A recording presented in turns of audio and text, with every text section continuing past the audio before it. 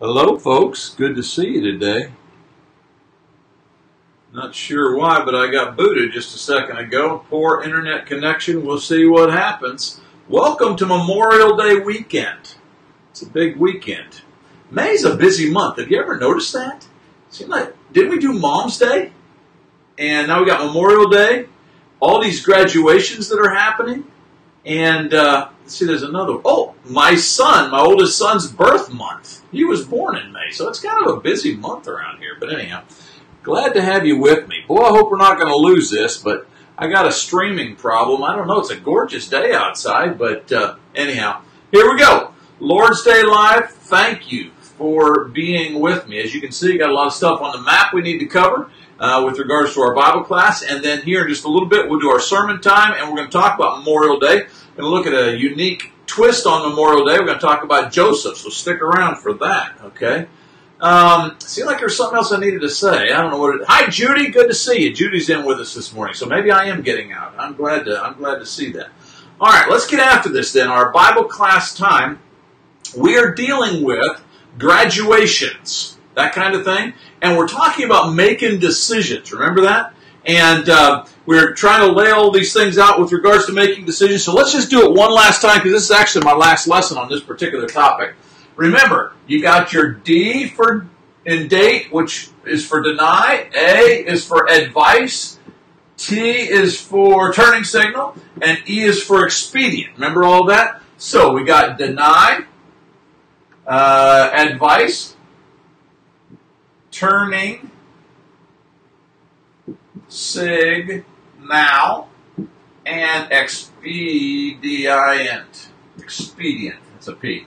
Expedient. And you remember we tried to draw those things. Hi, my mom's in. I don't know how mom's doing that. She's traveling right now. She's just getting back from a graduation up there in Berea, Kentucky, where my nephew graduated. Cool guy, one of the hardest working guys I know. But anyhow, good to have you with us, mom. She's pedaling home, I think. All right, so you got deny, and remember, uh, deny, we did that altar thing. I don't know if I can do it real fast for you. We're going to try real quick. We don't have a lot of time this morning to deal with past reviews and that kind of. Remember we did the altar thing? That was Romans 12, 1 and 2, and I'm not real good with fire. We established that earlier, but uh, that's pitiful, isn't it? Uh, anyhow, that's supposed to look like a flame. But anyhow, there you go. You got deny. We're supposed to deny ourselves. And then you got advice. That one was pretty easy. I can do that one. Remember, we got the we got the word bubble, uh, and I think I put in there. What about dot dot dot? You know, consider you know advice. You need to have advice from a lot of folks. And then we did the turning signal. Oh my, let's see here. We go. Oh, that I don't need to do that. But anyhow, I've already done it. There you go. That's supposed to be the tires. And here's Sonny Child sitting right here. See, that's me. My big head. That's me. These are the tires. Here's the tires. Got it? And that's supposed to be the back end of a vehicle, remember? And you got these turning signals, and what does that mean? If that one's going off over that, means he's about to turn right, right? And so the turning signals, when you deny yourself, seek the advice of other godly people, look for God's turning signals. We talked about that last week. Remember how that Paul wanted to go over, he wanted to actually get to Ephesus, I believe. And so he came up this way and he went that way. God said no, so he turns this way. Remember that God said no, and then he comes over here. Actually comes right down to here. And uh, that's Troas. Remember, and he has the, uh, the, the dream, and it's the uh, dream that leads him over here to Macedonia, to Philippi. Remember I can't do last week. Remember all that? Okay. And then we got expedient. And expedient means to do the greatest amount of good in the shortest amount of time. That's a Sonny Child's version of the definition. That's actually, I picked it up from my dad. He's a pretty smart dude. He's preaching right now in the Marmaduke Church of Christ. But anyhow, that's other, we could talk about him at another time. Expedient, expedient. And I got to thinking, how in the world am I going to illustrate expedient? So here's what you got to do. I need you to draw a very wavy arrow. Let me see if I can do it for you, okay? Here we go. All right, a very wavy arrow. It's not too bad.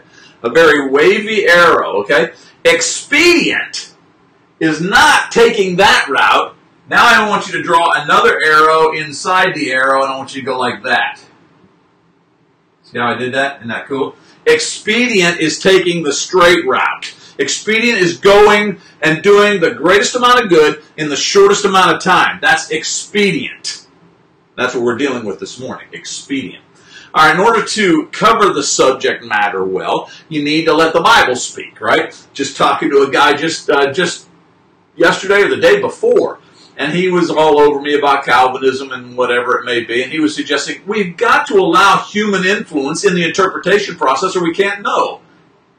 Now, why don't you just let the Bible tell us what the Bible says? Remember that series we started on way back? And by the way, if you didn't get it, you can go to my, my uh, YouTube page. You can get that. And we listed, what was there, six or seven lessons on how the Bible itself validates the Bible itself. Let the Bible interpret the Bible.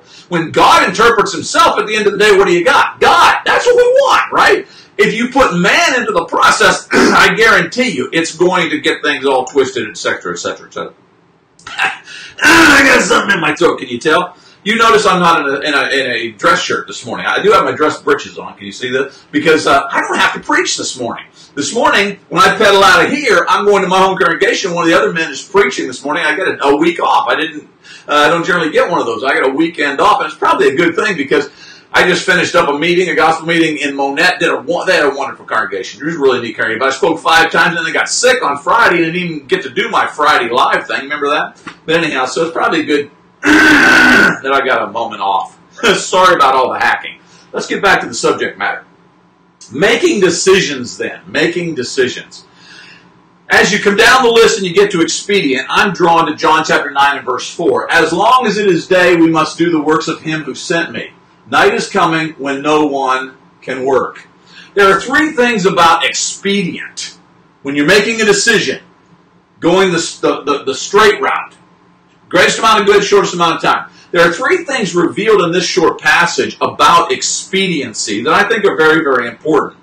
Number one, you've got to content, you've got to consider the potential time and opportunities that you're presently give, present given.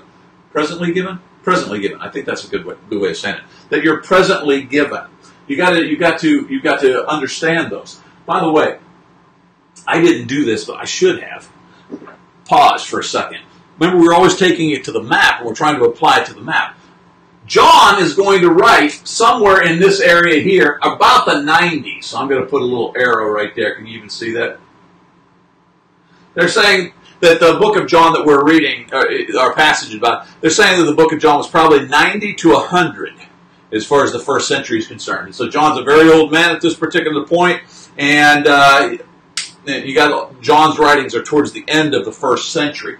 If you were going to put John on the geographical map, you have to come over here. Remember, we got the boot blah banana boat with bubbles being bounced beside a balloon, all that kind of stuff. Well, um, you got the balloons over here. That's the Sea of Galilee, Jordan River, Dead Sea. Can you see that? Yeah, that's not too bad. Remember, the most famous city in all of history is Jerusalem, right? Not Mecca. Jerusalem. And that Jerusalem sits right about there. Can you see that? Yeah, that's not too bad. Well, I'm told that John, the one who writes the passage that we're looking at, I'm told that John comes from Bethsaida. And let me do something else for you so you can. The, the Jordan River doesn't actually begin at the Sea of Galilee. Okay, and so if you were to take the Jordan River even on north beyond that, you would find that there's two famous cities at the top of the Sea of Galilee. On the eastern side of the Jordan River, right here, is the city of Bethsaida. I'll put a B there so you can remember. That's where John's from. On the other side is Capernaum. Okay, and there's a lot of stuff to be said about Capernaum. We're not going to do that. I just wanted to give you kind of a reference point for future lessons, etc., so you can identify that. But John is from Bethsaida, according to my studies. Okay, and so you've got John writing about 90 AD. He's from Bethsaida, is where his hometown is. Uh, a lot of what he is, uh, they, they, say that John probably died in Ephesus, and probably so a lot of the writings that he did from there, etc. But I'm not going to deal with that right now either. Okay, I just wanted to give you the historical background. Now I got too many pens. Okay, now let's get back to where we're at before we run out of time. There's my buddy Austin. Austin's from Texas. I mean, a name like Austin, where would you be from? Austin, good to see you. Uh, he says, Love you and your hard work. I love you and your hard work. Really cool guy. All right, got to move on. Expedient. All right. First thing, remember, when you're trying to factor in the expediency part of your decision making process. You need to look at the potential time and opportunities that are presently being had. And so you obviously can't judge fully what's coming tomorrow. And so you got to you got to factor in what you presently got. And so as you're trying to make this tough decision, you need to say at present with what I got and what I understand about the circumstances, what is going to allow me to do the greatest amount of good in the shortest amount of time. That's expedient. Okay? So first of all, you've got to measure the potential time and the opportunities that are at hand. All right? But number 2, you'll see how this is playing out. Number 2, notice that he doesn't just say, Jesus that is, that as long as it is day, we must do the works of him who sent me. That's the potential time and opportunities that we have present tense. He goes on to say, night is coming. So he also gives us now parameters that you and I, although we can't predict the future, we can know certain things that are happening, that are going to happen. Specifically, night is coming. Notice that he says here, night is coming when no man can work. Limited time and opportunities is the second part of expediency that you have to factor in. Not just that there is presently potential time and potential opportunities, but you also have to factor in that those present potential moments and opportunities are limited. They're, they're not going to be here forever. And so that, of course, leads us to, again, back to expedient. So whatever decision you make as you try to run it through the, the biblical ciphering system, as you as it were, whatever decision you, you make, remember that you've got to make it in view of the fact that my time and opportunities aren't going to last forever. And whatever you presently have, know how history plays out, whatever you presently have, it's not likely to last. In fact, those of us who are older, got a lot of gray hair, can you see my gray hair? You know that it seems like time actually just, it, it speeds up. And so, as you get older, you begin to recognize that just there's a, there's a lot of limited nature to the time and opportunities that we have. You got to factor that one with regards to expediency. Number three, there's only three of them. And then number three, no one can work. Oops, I got my expedient arrow in the middle of three, but that's okay. You can still see it, right? The third part here is we got to recognize that there is an end of time and there is an end of opportunities.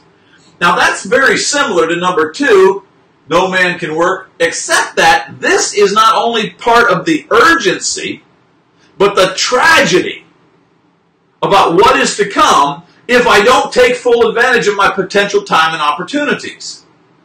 There will be an end of time.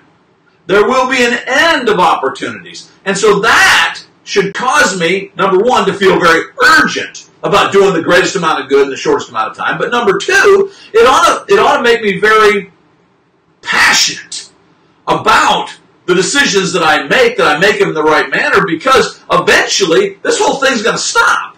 And I won't have any more opportunities. I won't have any more time. And at that particular point, my influence is frozen. There's no more that I give. And for those, when time ends and opportunity ends, for those folks, when their time and opportunities are up, their eternity is frozen there's no more opportunities for them to, to make adjustments to the schedule, to make adjustments to their priority list, that kind of a thing. So, since it's our last day with regards to this particular subject matter, and remember why we're doing it, because a lot of graduates this time of month, and I just wanted to make sure that if you're a graduate, you can put your decision making processes through this. So, real quickly, a review.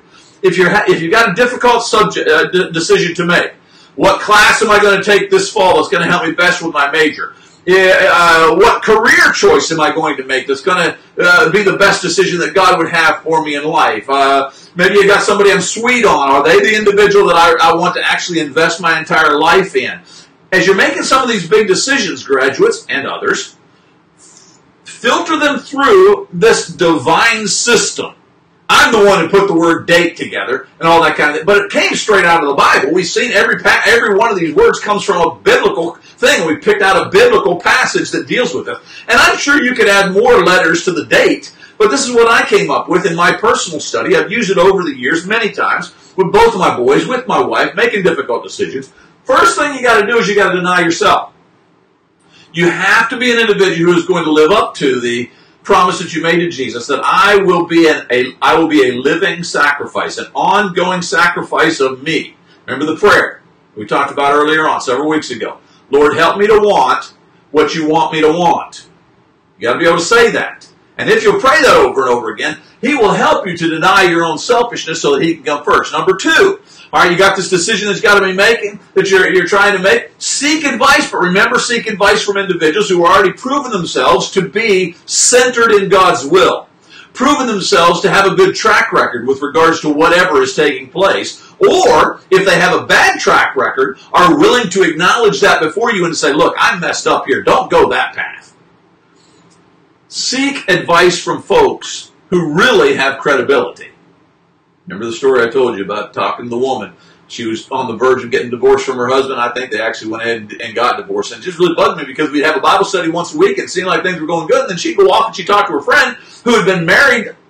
I think she'd been married three times and divorced. And I think she was presently living with another guy. I know she had a history that kind of, and she was letting all that advice from somebody who clearly has proven they didn't even know how to have a good working relationship. She allowed that advice to undermine the biblical scriptures Seek advice from folks who have credibility.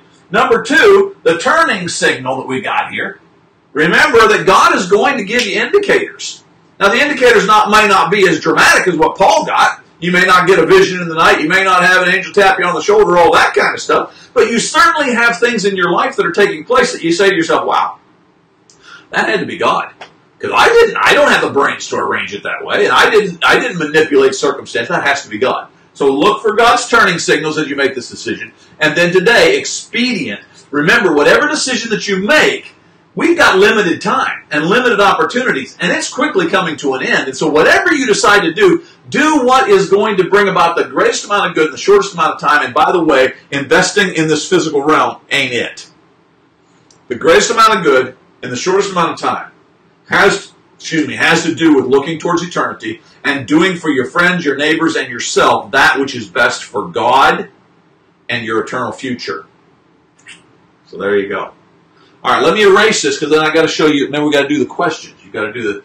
You'll teachers get your cell phones out and ready to take a picture and get this cleaned off. I'm going to have to replace my plastic covering on this, I think, because it is really getting messy. All right, that's not too bad. All right, here you go. You ready? See how that worked? Come on. I'm going to have to walk over here. I think my batteries went dead. There it is, Q and A. See that? Booyah! All right, there you go. Here are the questions that you teachers need to get a picture of so that you can discuss them with your class. Uh, what does the E stand for in the date that we I just told you? It's got an X. EX. I'll give you that much of a hint. Uh, what's the meaning of this word that has an EX at the front end? Uh, what phrase from John 9 4? Read that again. Potential time, you got those four, those next three, you can do those. Where would you place the book of John on the timeline? Oh, oh, I gave you a hint there. Oh, oh, oh, oh, oh, oh, oh, oh, oh. I've got to take this. You guys aren't looking, are you? And where would you put him on the biblical map? all right, you got all that? Good deal. Good deal. All right. Memorial Day. We're about to have a, a, sermon time with regards to Memorial Day. But before we do that, let's do the prayer time. That's what comes next, isn't it? Boy, I'll tell you what. Hey, you did it. Prayers. Our president, I, he, he's been under it since he was elected, and uh, he continues to be under it.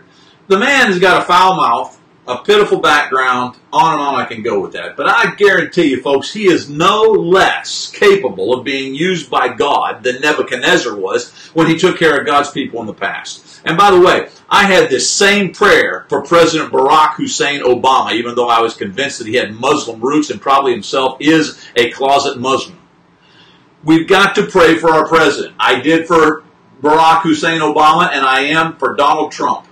We've got to pray for our president that there will be calmer minds, including his own, that will reign in the governmental setting.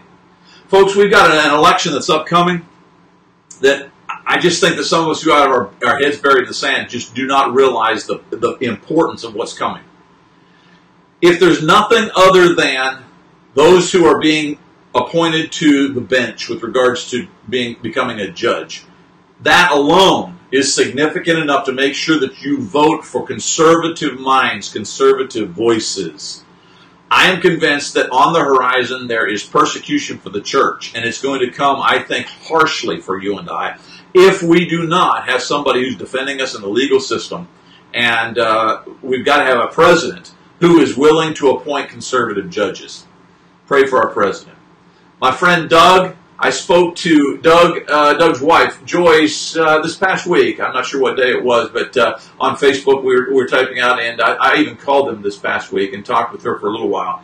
Um, he continues to struggle with cancer, etc. He has good days, bad days, and even with, throughout the days, those of you who struggle with cancer, you know how this is. Good moments in the day and bad moments in the day.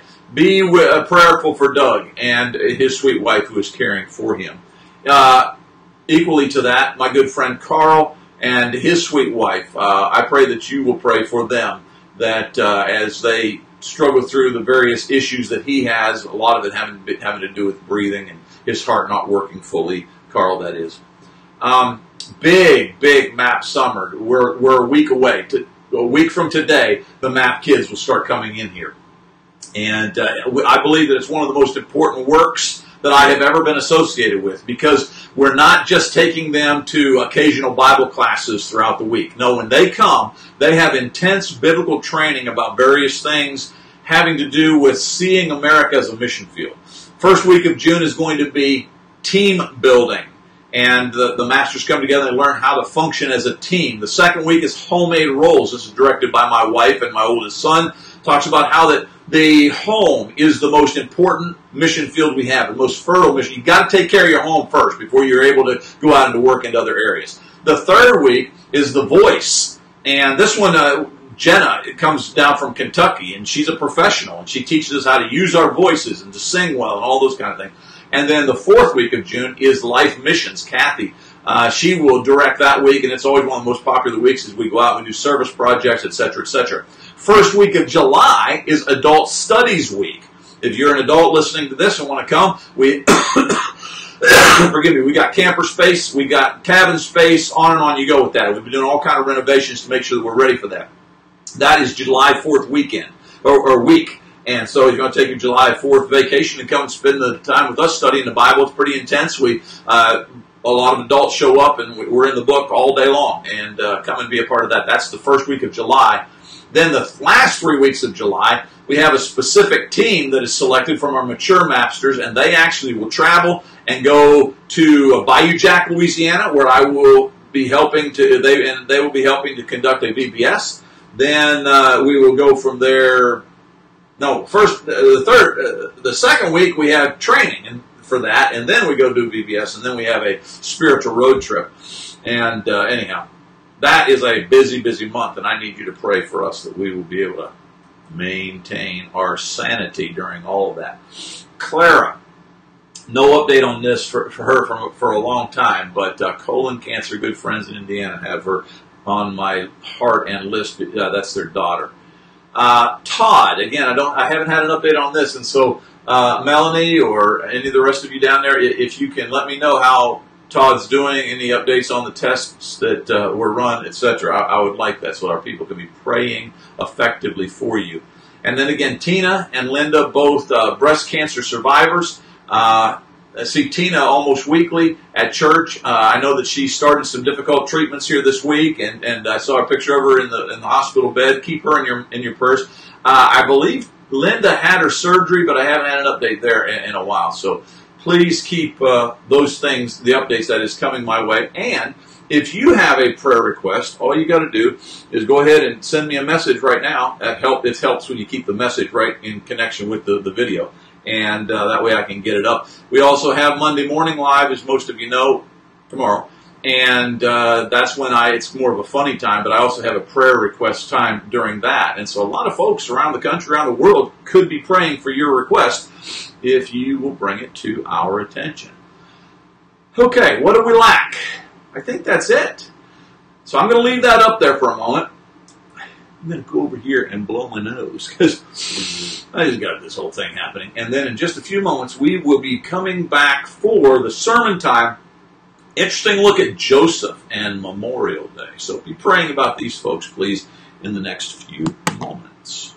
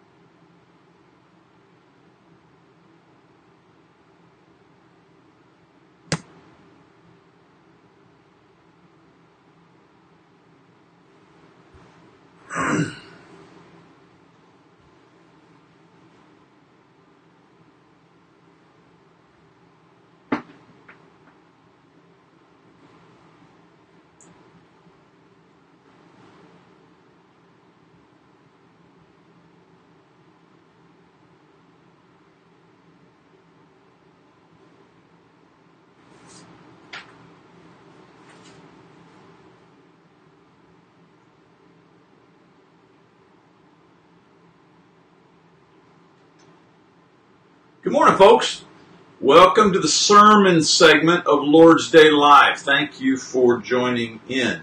It's Memorial Day weekend, and uh, I did a little research on Memorial Day, and uh, this is the time of year that many of us would go to the gravesides and we'd honor those who have passed away. It's also very important for us to remember, and I think it originated with the idea of remembering the fallen uh, soldiers that have given their life so that you and I could uh, have the freedoms that we have. And so while we're uh, grilling our hamburgers and uh, playing Nerf gun wars and all that kind of thing out in the backyard today, let's not forget that some folks gave their life early, many of them 18, 19, 20 years old, never experienced the life that you and I have experienced, but they did that so that you and I would have what we have.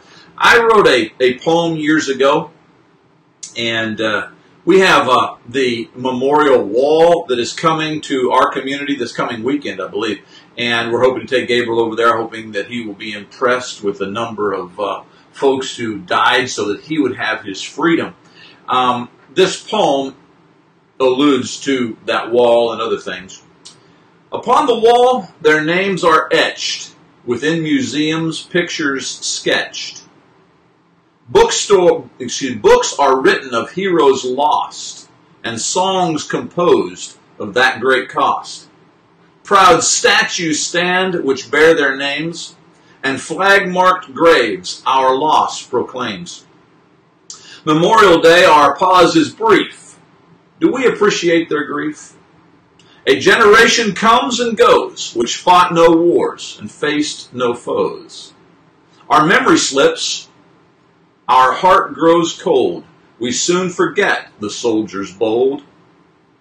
We all should feel it personally. They died for us. They died for me. This morning, as we reflect on reflecting, as we try to remember to remember, I want to take you to an interesting story about Joseph. In fact, let me just throw that picture up here real quick so that you can see where we're going. We'll title this particular lesson Forgotten. Joseph and Memorial Day, Forgotten. I was studying his life again recently and I was I was noticing three things specifically about Joseph and the tragedy of, of some of the things that took place in his life.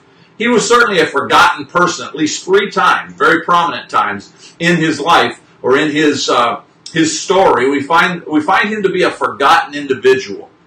I chose this picture offline because it, to me it just really grabs the tragedy of the life of Joseph. It also, I think, emphasizes the divine intervention of God on behalf of those who are faithful to to his to his values and, and to his calling. Joseph certainly was one of those individuals. You see him here as a young man being pulled away uh, by the slave traders. Um, his family over there on the right, and they're individuals who are they're handing out the money to get rid of Joseph. Remember, there's a great jealousy thing happening there, and because of jealousy, their jealousy and their bitterness, it, it led them to rash choices. And this is one of those rash choices that takes place. Now, there is not any indication in Scripture that you and I should credit these guys with doing a good thing in the sense that this was something God really was excited about. I'm so thankful that Joseph was going to have to go be a prisoner.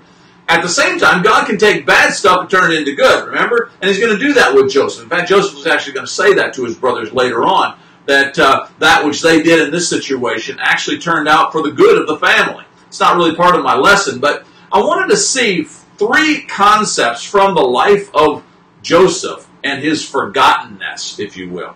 Now, before we go there, let's go to our map just real quickly because I'd like to identify for you where Joseph falls out. On the timeline, Joseph, of course, is going to be right about here because he is going to be just prior to Moses, right? Moses is going to give us the Ten Commandments. And so you're going to have Joseph as he is going to be here, and then we're going to find, well, you know that story. I'll tell you about it briefly here in just a moment. And then remember, Joseph is going to be sold down to here in Egypt. So Egypt is down here. So if you want to give it a geographical point, here's this, and here it is on the on the, the, the timeline. All right, now back to our story. Remember how it plays out. Brothers are jealous. They sell him, and they tell the father, tell uh, his dad that that he's been you know mauled by a, a wild beast, and they present the coat to the dad that's covered in blood it's a whole setup kind of a scenario. You remember that story. Okay. He goes down to Egypt. There in Egypt, you might recall, imagine this young man as he, he's trying to figure things out, and, and, and now he's become a slave. He was actually very pampered in his own home, and now he's become a slave, and he's having to use muscles that he never had to use before, and, and he's being abused and hurt, and all, the, all that stuff is happening. The hopelessness that swirls around him. Anyhow, he's sold to Potiphar, and you remember that story. And Potiphar is going to really like this guy because he's a hard worker. He didn't allow his circumstances to dictate his his uh, response to life or his character, etc. Big application for the young people of today who live such pampered lives, and then they can't even stand up when the national anthem is sung. I mean, really? Anyhow, Joseph, as he is sold into into slavery, he goes down there. Potiphar buys him. He eventually Joseph is going to be made head over the house. You remember that? And then you got that whole thing with Potiphar's wife. She's she's a, not a nice woman, and she tries to seduce him, and she lies about him, etc. So he gets thrown into jail. All right, it's there in jail that we have our first illustration of forgottenness. And I'm not even sure that's a word, but we're using it this morning. Forgottenness. Oops, let's come back to forgottenness. First thing I want you to understand is that on Memorial Day, that is, as we make application, that we are people who are prone to forgetting, prone to a lifestyle that is so busy that we just move on. Oftentimes it's, it's intentionally, as we're going to see in the next point. But sometimes it happens just because the memory is neglected. It's not taken care of. You and I need to make massive applications to this with regards to our Memorial Day uh, weekend. Are you taking care of the memory? Is this just about you know, cooking hot dogs and hamburgers on the grill out back and throwing the frisbee and having the family over? Or is this a time when we literally stop and we think, somebody died so that I can sit on my back porch? We need to be people who do not neglect the memory. Come to our passage. Genesis 40, 20 through 23. Now the third day was Pharaoh's birthday, and he gave a feast for all his officials. He lifted up the heads of the chief cupbearer and the chief baker in the presence of his officials. He restored the chief cupbearer to his position so that he once again put the cup into Pharaoh's hand. But he impaled the chief baker, just as Joseph had said to them in his interpretation. You remember that story? We'll deal with it here in a second. The chief cupbearer, however, did not remember Joseph. He forgot him. Remember, they had dreams. Joseph interprets a dream. He says to the cupbearer that you're going to survive. He says to the baker, basically, he says, You're not going to survive. That comes about. You would think that in that scenario, that the cupbearer, he would have remembered Joseph. You'd have thought that after having somebody who has devoted uh, his friendship and, and given time and given him such good news, you'd have thought he would have remembered him. But that last verse is powerful because it says the chief cupbearer, however, did not remember Joseph. He forgot him. Now we know later on he's going to remember him, but he forgot him right now. Something later had to jog his memory. Do we have to have a special date in May to jog our memory to remember? It's kind of like Thanksgiving. Is Thanksgiving really about you and I getting together and gorging ourselves, or is Thanksgiving about giving thanks? You know, see, some of our holidays have become moments that are supposed to remind us, but instead of reminding us, it allows us to drift off into selfishness again. That's what takes place here with this friend. Remember the, the circumstances and the setting. You know, Joseph has got to be distraught about the fact that he's been thrown into jail, unjustly, by the way. And now the cupbearer has been thrown into jail, unjustly, evidently. And you'd have thought that they would have bonded so powerfully that the cupbearer would have remembered him, but he doesn't because he got so busy taking care of his own stuff that he neglected the memory. Application number one, folks, this Memorial Day weekend, don't neglect the memory. Somebody died so that you could enjoy the day. Individuals have gone before you, family members, etc. Some of whom never fought a war. I get all of that. But there's folks in the graveyard right now who have done in the past marvelous things to promote an opportunity for you to have conveniences.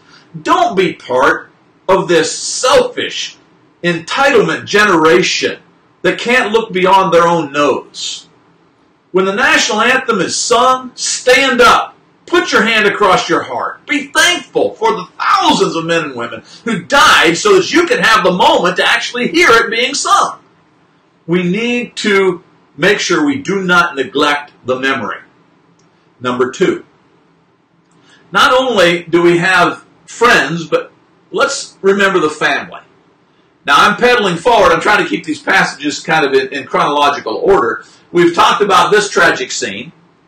That's all in the past now. Joseph has gone on down to Egypt. Joseph has done well for himself in spite of his the cruelty put towards him with regards to his brothers, etc. And he rises to the top of uh, governing the house of Potiphar, but then again, eventually he gets back into jail. The roller coaster ride is amazing. Joseph, what a crazy, cool faith this guy had. And then he's going to, remember, he's going to interpret the dream. He's going to be forgotten. But then eventually the cupbearer will, oh, I remember the guy. Yeah, he can interpret dreams, Pharaoh. And Pharaoh says, get that dude. And so they bring Joseph in. That's where we pick up with this second part. And uh, Joseph is going to interpret the dream. Pharaoh will make him second in command over Egypt. They survive the great famine. Eventually, his brothers, Joseph that is, his brothers have to come down to get food. Pick up with the passage. Genesis 42. Their father, Jacob, said to them, You have deprived me of my children. Joseph is no more, skipping on down. And now you want to take Benjamin. Everything's against me. Then Reuben said to his father, Entrust him to my care, and I will bring him back. But Jacob said, My son will not go down there with you. His brother is dead, and he is the only one left. If harm comes to him on the journey, this is important. If harm comes to him on the journey you are taking, you will bring my gray head down to the grave in sorrow. Joseph and Benjamin were the favorite sons of Jacob. And as this begins to play out, I want you to notice that there is a memory that is being rejected in all of this. Who knows over the years how many times Jacob must have wept, gotten off by himself, and, and it, it got discouraged, depressed, etc. And the brothers of Joseph, they knew why dad was depressed. They knew that it was the story that they had told him that your son, your favorite son, is dead. They also knew it was a lie. But all these years they're living out this lie. Ever done that? If we have hurt someone, we need to be, if it's our fault. We, we need to go and we need to take care of that. Have you gossiped about someone? Spread slanderous rumors about someone without ever even going to them and talking about the facts? You need to take care of that because it puts you in a world of hurt with regards to your relationship with God. Well, here are some guys who are living with a lie the brothers. And I, I wanted to point out verse 38 because notice what Jacob says, My son will not go down there. Now, he does eventually, you know that. Will not go down there because look at what you've done. You've taken jo- uh, Joseph from me, and now you want to take Benjamin from me. You don't think that at that moment the hearts of the brothers had to just kind of, oh, hurt again? Or maybe they're so stone cold at this point they're not hurting at all because of a seared conscience. I don't know. But whatever it is, the memory is being rejected. This was one of probably many opportunities that those boys had to, to fess up and to say, Dad, Joseph's not really dead. Now, I can't tell you what happened to him, but this, they could have done that. But all these years they're living with that because they're rejecting the memory. Memory rejected. Do you have somebody in your life who, who served you well? They worked hard to, to bring you to where you are. But maybe there was a falling out at some point. I don't know. Whatever. But for whatever reason, you turned your back and you went away. And you have over the years been constantly rejecting that memory because to bring that memory up is to bring guilt up and to bring conviction up. And then obviously, if I'm going to respond correctly, it's to bring change up in my life. And I'm not interested in changing. And so you've been over the years rejecting that memory. You need to get rid, you need to get right. You need to get rid of that. It will eat you up from within. So the second thing, got friends, number one. Number two, you've got family, and the memory is actually rejected. First of all, memory neglected, memory rejected, and then number three, memory infected.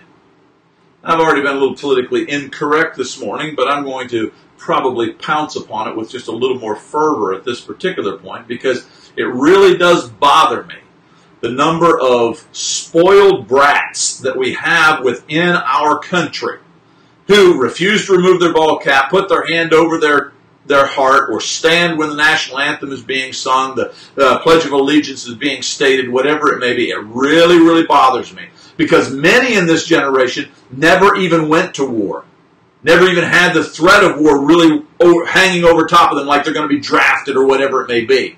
But because of their selfishness and, by the way, poor parenting that didn't lead them to a Thanksgiving, because of all of that, we find them acting very, very selfish towards those who died, pay the ultimate price so that they could live. We have a country that in many respects has been infected by the selfishness of entitlements. The socialists who are wanting to corrupt the Constitution and to turn us toward a Venezuela kind of a, of a government, these are individuals who don't understand or appreciate what they need to appreciate about those men and women who have died to give us the freedoms that we have.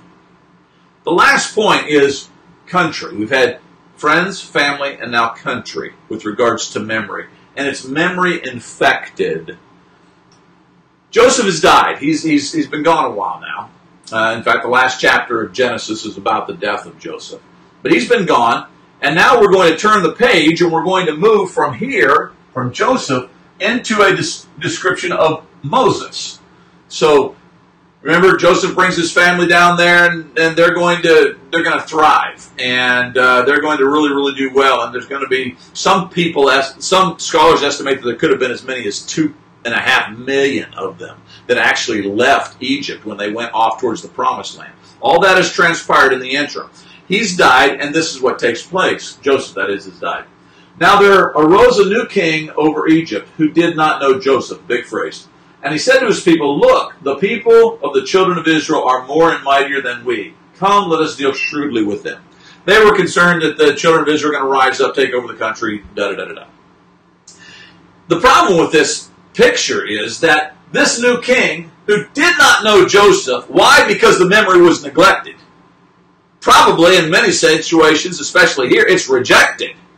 And now it has become infected to the point that the very people who come from the family of Joseph have become the problem within the nation. May I make a massive parallel with regards to Christianity? This nation was not founded on Buddhism. This nation was not founded on Shintoism. This nation was not founded on, on Islamism, Islamic teachings. It was founded upon Christianity. It's undeniable. Read the letters, the many writings of our, of our founding forefathers, and yet all of a sudden, now Christianity has become the enemy. All of a sudden, we have turned our back on the very values that brought us to where we are. Why aren't these folks remembering Joseph? Why aren't they remembering the great famine? Why aren't they remembering the fact that their, their nation survived because of the wisdom of this man? Obviously imparted to him by God. Why are why have they forgotten all of these things? It's not just because the memory was neglected and rejected, but now it has become infected where the very ones who are the children of the hero have become the enemy. And we are there in America today. Now there arose a new king over Egypt who did not know Joseph. It's Memorial Day. And when we find individuals who reign over us in Washington, D.C., or in other influential scenarios, who have intentionally forgotten our past because they have some progressive concept that somehow we could improve upon this if we would just go to something that is radically different from this and they divorce themselves from the very things that brought us here. When that happens, we come right up against the words of Jeremiah, who reminds us to return to the ancient paths. It's Memorial Day. It's time for us to avoid being people push the memory of folks out of our minds and they become forgotten. Do not neglect the memory. Do not reject the memory. Do not infect the memory. We need to be people who remember. One of the things I'm convinced, I'll end uh, this, but one of the things I'm convinced that causes us most of all to fail to appreciate holidays like this weekend is that we rush too fast. We are going so fast from point A to point B and things happen so rapidly within our day that we just simply do not take the time to sit and think and meditate. You know, the first step towards a memory that is neglected is a too busy schedule to take time to remember the memory. Memories that are neglected, rejected, and infected will kill our culture, and it will also kill your eternity. So this mem- this Memorial Day weekend, take time to remember. This is Sonny Childs. Thank you for being with me each week. I pray that this has been a blessing. Be there. Matthew 16, 26.